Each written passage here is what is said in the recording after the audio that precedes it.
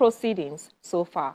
Well, my general observation, observation is that there is a chasm, there is a gap between what litigants or petitioners and their lawyers uh, the public to believe regarding the substance uh, and content of their petition and their grants and what actually play out in court.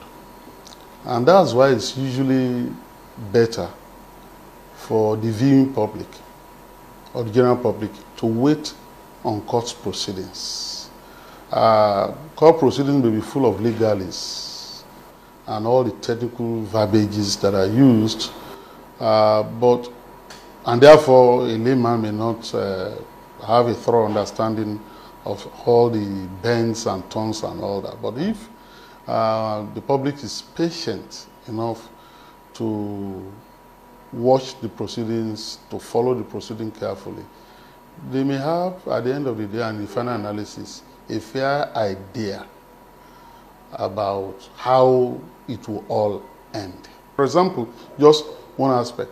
Whereas um, when the petition was lodged, a lot of people were talking about uh, the need to, including senior lawyers, perhaps in a partisan manner, talking about the need to conduct the proceedings uh, more or less in a summary fashion and ensure that a decision was rendered before inauguration and that that could be done. We've done it in other jurisdictions. We get to court. And those who are challenging the result of the election, the outcome, are taking adjournments, are talking about sickness. They're talking about processes uh, not being uh, exhaustively concluded. They are talking about the liturgy uh, of INEC and that INEC was not cooperating with them to bring all these things and all that. And look, these couldn't have been done in you know that summary fashion that many people thought was possible. So you have a situation whereby before proceedings open, the judex is set up. Judges are, you know, portrayed as people who want to trade on justice, who want the thing to be dilatory and be prolonged. And here you get to the proceedings and then discover that it's a different ballgame altogether. So we need to be patient with that system and then get the best we will get out of it. There are a lot of emotions attached and invested in the proceedings of the Presidential Election Petitions Tribunal. And predictably, some people have already started to express the view that you know, we might not get justice from the tribunal. What would you say to people who express views like this? What I see on this occasion is that a lot of people who are not familiar with uh, our legal history, with our political history, with our jurisprudence, are making comments and giving opinions on things they are not very sufficiently knowledgeable about. And so the judiciary is set up. Uh, the judiciary is portrayed as an institution that can never give justice, which is not the situation even in our, our current situation. Many of the governors in this country, Obi himself inclusive, became governors by the grace of the tribunal. And he will tell you that he has confidence, you know. Mimiko, uh, Oshiomhole, Aregbe a number of them like that. Okay? So if it could happen for the gubernatorial, why is anybody thinking that it can never happen for the presidential? If the evidence that is produced is sufficient to warrant the tribunal returning a verdict that the election uh, was not properly conducted, and therefore the person that has been declared had not been uh, elected by a majority of lawful vote cast in that election. So why do they so think?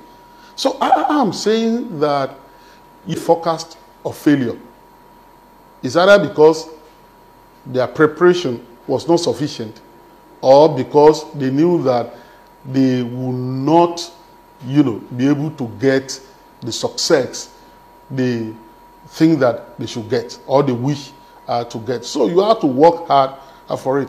And look, in the 2007 election petition, the Yaradua petition, at the Court of Appeal, sitting as the tribunal, the presidential tribunal, the election was partially nullified. It was. It was partially nullified. It was when the matter got to the Supreme Court that you then had uh, a situation, you know, uh, like that, in which there was also a dissenting opinion, even at the Supreme Court, while Nikitobia and others and people were shocked that Nikitobi could do that at that time, you know, and all that. It was a split decision, both at the Court of Appeal and in the Supreme Court. That 2007, whatever. So if we got that close, why is anybody thinking that if justice requires that it be done, that the Judex will fear that the heaven will fall on them if they ever do justice. I know it's a tough call because by our precedents, by our authorities, if you are alleging corruption, if you are alleging uh, malpractice in the election, you will have to prove it polling booth by polling booth.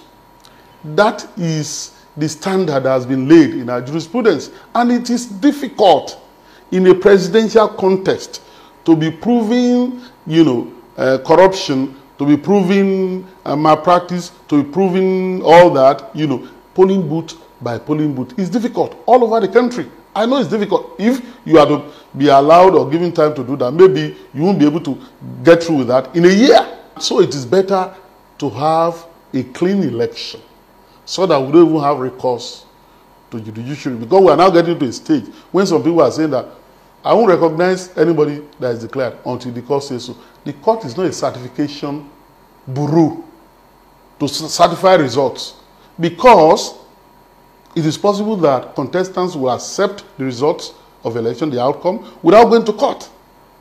It's possible.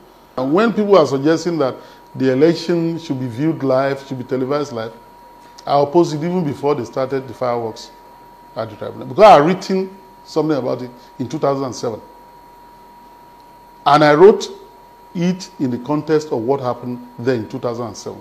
The article was titled, should, uh, Is it legal to televise uh, uh, election tribunal proceedings?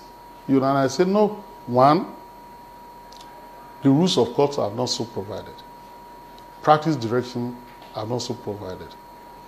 Three, public hearing is guaranteed by our law, meaning that members of the public can bear.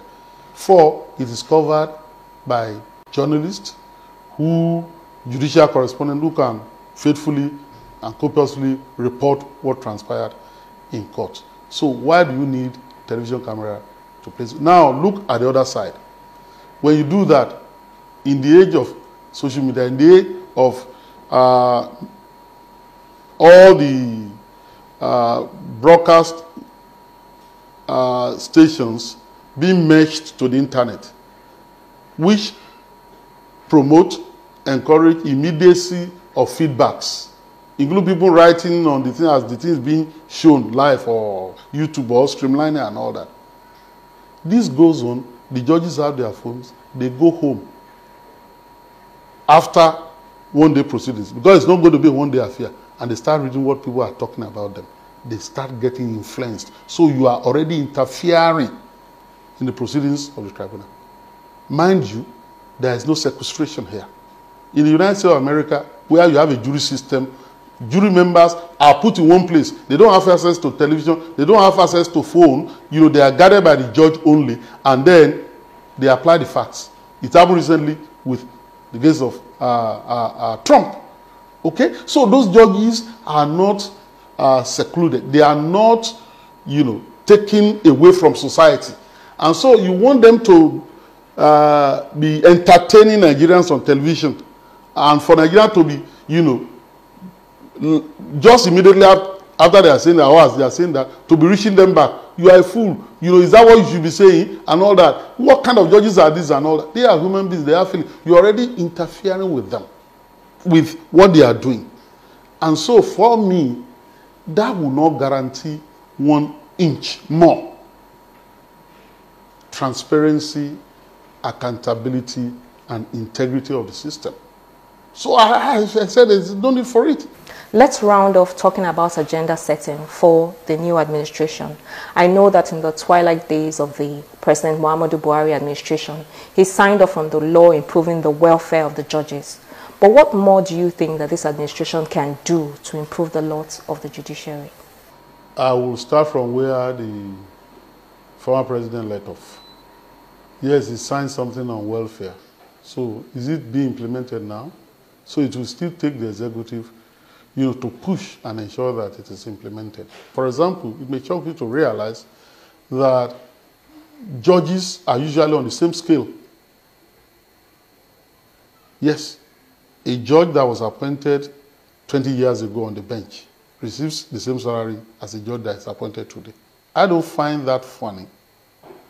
Judges may not tell you this. So there are no scales. Up till now. Oh, oh yes. So these are, it's funny, but because judges do not, they are not, they, they can't by their profession, they are constrained.